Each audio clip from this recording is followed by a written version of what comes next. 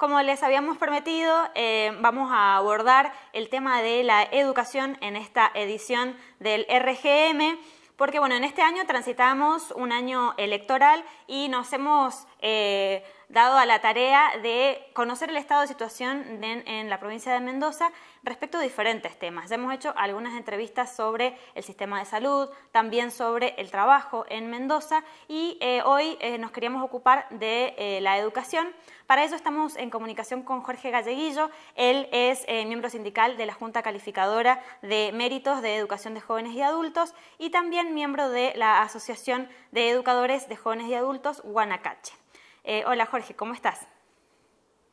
¿Qué tal? Eh, buenos días, gracias por el espacio. Muchas gracias a vos por este contacto. Y bueno, queríamos eh, preguntarte desde tu trayectoria, ¿cuáles, ¿cuáles crees que son las, las, deudas pendientes en la provincia de Mendoza para que el derecho a la educación sea para todos y todas? Bien, sí, para sintetizar, digamos, el método tiempos que suelen ser breves, eh, se pueden agrupar las deudas, eh, por un lado en relación a, tanto desde el punto de vista de las condiciones de, trabajo, quienes trabajamos en, el sistema educativo, y, también eh, en lo referido al, a lo presupuestario en materia de, de infraestructura y, demás condiciones de educabilidad. Eh, eso, un grupo de, deudas vinculadas con eso, muy fuerte. Por otro lado, también eh, hay un estilo de gestión muy autoritario del gobierno escolar. Eso también es otra, otra deuda muy importante que ponemos ese título y ahí obviamente hay muchas cuestiones adentro. Eh, y eh, la otra es la mirada tecnocrática, neoliberal que tiene, que tiene el gobierno y que eso también eh, produce consecuencias negativas muy importantes para las instituciones y sobre todo para los estudiantes y las, los estudiantes y las, los trabajadores de educación. Cuando te referís al autoritarismo en, las, decisiones, digamos, de la DGE particularmente, eh, ¿querés decir que no se abra la participación de eh, las y los docentes que somos los agentes que estamos frente a curso y eh, con, los niños, niñas, jóvenes, adultos en, la tarea de educar? Sí, en realidad es toda una, una marca de gestión, ¿no? Por, por poner algunos ejemplos emblemáticos, eh, como el gobierno intentó al comienzo del mandato de, Suárez eh, implementar una nueva ley provincial de educación, que si bien es muy necesaria, eh, el tipo de propuesta y el modo inconsulta en que la quiso, que quisieron, digamos, este, implementarla eh, hizo que hubiera gran resistencia, este, masiva resistencia de, colectivo de educadoras, educadores y estudiantes, que fue el, modo de frenar esa iniciativa. Pero eh, casi que ha sido el, único modo de, poder eh, hacer retroceder decisiones del, el gobierno que una y otra vez eh, han, se han aplicado sin, sin tener en cuenta la participación de, de, quienes trabajamos o ejercen el derecho eh, a la educación en, en, la provincia. Ha sido, es una constante. Eh, eso se, se nota también en el, en el,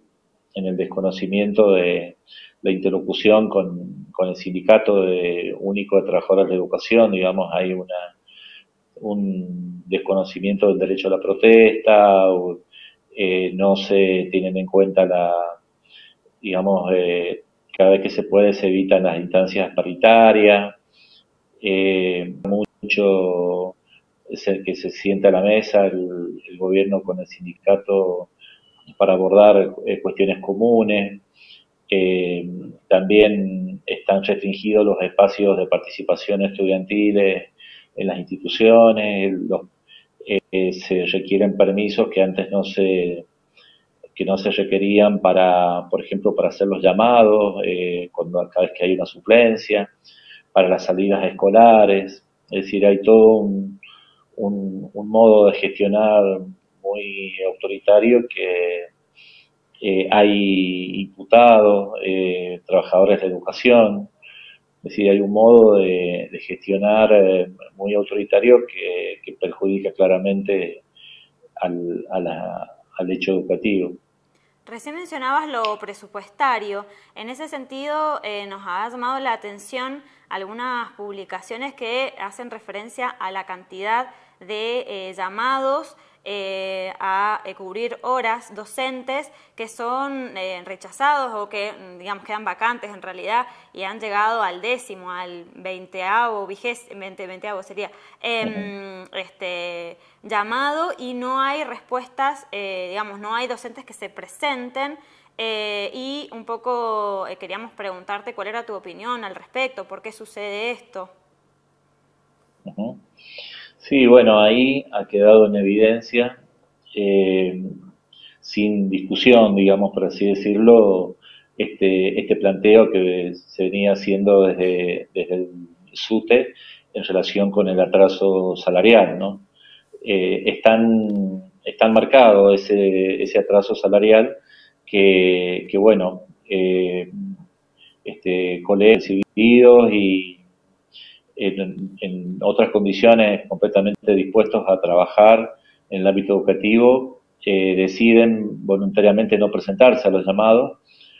eh, en lugares que en otra época eran muy, este, muy requeridos, digamos, escuelas con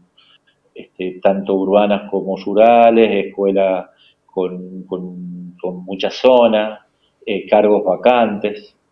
que, llegan a las 15, eh, a la instancia 15, a la instancia 20, incluso más, eh, y ahí ya es una discusión saldada, digamos, de, no es opinable en esta cuestión de si los salarios están atrasados o no, sino que ya cuando hay un desaliento de, eh, de modo muy triste, digamos, de colegas que, prefieren cambiar de actividad y no continuar en la docencia, es porque evidentemente se, uno tiene que llegar a la conclusión que eh, el atraso salarial eh, es, crítico y, muy grave entre los trabajadores de educación. Respecto de los, el cierre de centros educativos, a nosotros nos preocupa especialmente aquellos que son de gestión social, aquellos que tienen eh, como, eh, digamos, autoridades a eh, personas que han decidido abrir una escuela y en, en, este periodo de gestión de la DGE se han cerrado estos centros educativos. Y por otro lado vemos que hay una, un aumento de la demanda de la educación pública en tanto y en cuanto la eh, situación socioeconómica eh, lleva a, por ejemplo, familias que eh, hacían el esfuerzo por enviar a sus chicos y, chicas a un colegio privado y se han visto obligados a migrar hacia la educación pública. bueno, este, por ahí consultarte en respecto de, esta cuestión, ¿cuál, ¿cuál es tu mirada al respecto? Sí, bueno, acá tenemos como varios, elementos en tu pregunta, ¿no? Eh, con relación a los cierres, las escuelas de gestión social, eh, entendemos que ahí hay una, eh, un conjunto de explicaciones. Por un lado, una mirada homogenizante del gobierno que, por ejemplo, las escuelas de gestión social están a cargo en la de escuela por, por la Dirección de Educación Privada, es decir, la misma persona que está a cargo de las escuelas privadas también les ha asignado la tarea de, de conducir, eh, de gestionar eh, a las escuelas de gestión social, digamos, lo cual conceptualmente marca qué mirada tiene este gobierno en relación a la gestión social, digamos. Eh, asemejan gestión social a educación privada y eso es un, un error conceptual muy importante. Claro, empresas económicas que tienen como objetivo brindar un servicio de educación. Cuando en la... Claro, entonces eh, el, el, trato que se hace del funcionamiento de estas escuelas es un, es un trato análogo al de un colegio privado y, y eso no, no tiene nada que ver, digamos, la ley de educación nacional marca la gestión social como una modalidad específica dentro del sistema, con una idea de gratuidad muy marcada, con una responsabilidad del, Estado y de trabajo en conjunto con las organizaciones de la sociedad civil en la gestión educativa. Es decir, una mirada distinta que lamentablemente este gobierno, al poner, eh, asimilarlas a la educación privada, lo que ha hecho es, eh, digamos, acotarlas y prácticamente eh, se han cerrado, salvo en el nivel inicial, ha habido un cierre muy marcado de, estas instituciones. Entonces, por un lado, a consecuencia de esta mirada y también obviamente la, cuestión del ajuste permanente sobre educación, que desde la perspectiva del gobierno eh, ellos eh, constantemente han reduciendo el presupuesto educativo, tanto en términos de porcentaje del presupuesto este provincial como en como en relación con el Producto Bruto Geográfico, digamos, en términos reales, eh, ha ido retrocediendo la participación de, educación desde el 2016 a la fecha en forma constante. Entonces, sí. Bien. Así que eso, eh, eh, eso por un lado, y con relación a los cierres, claro, y, con relación a lo que comentabas de educación privada, Mendoza es, un, es, una, es una provincia eh, con una participación pequeña eh, relativamente de educación privada eh, y e incluso en la educación privada se puede distinguir una gama bastante amplia de, propuestas de instituciones que van desde aquellas instituciones con cuotas altas para, para una población específica, digamos, de altos ingresos y, y, una, y, colegios privados eh, destinados a sectores medios, incluso a sectores populares, eh, que han que, de un acompañamiento estatal. Bueno, este, este gobierno eh, ha reducido eh, esa, esas instancias también. Eh, que, que se tengan que, digamos, dirigir a las personas que usaban estos servicios al sistema estatal. Por ejemplo, en el nivel superior es, muy llamativo, digamos, regiones, por ejemplo, zonas como Maipú,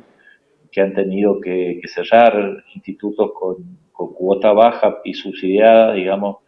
este, quedando prácticamente a la intemperie esos estudiantes y teniendo que dirigirse muy lejos de sus hogares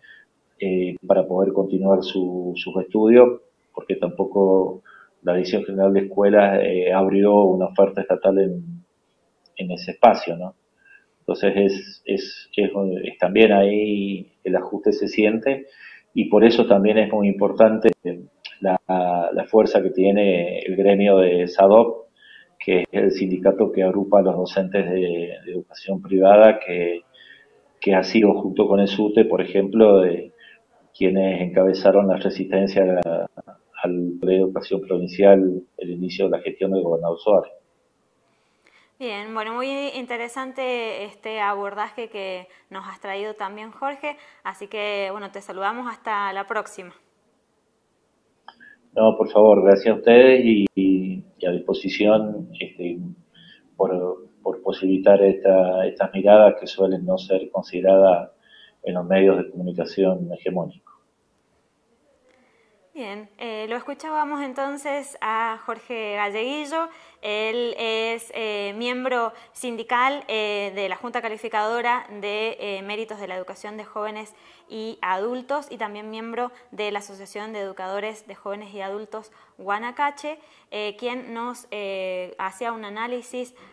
respecto del sistema educativo en Mendoza y de la gestión política en materia de educación en los últimos cuatro años. Eh, y bueno, nosotros eh, con esto cerramos este bloque, pero enseguida eh, les traemos más información en este RGM.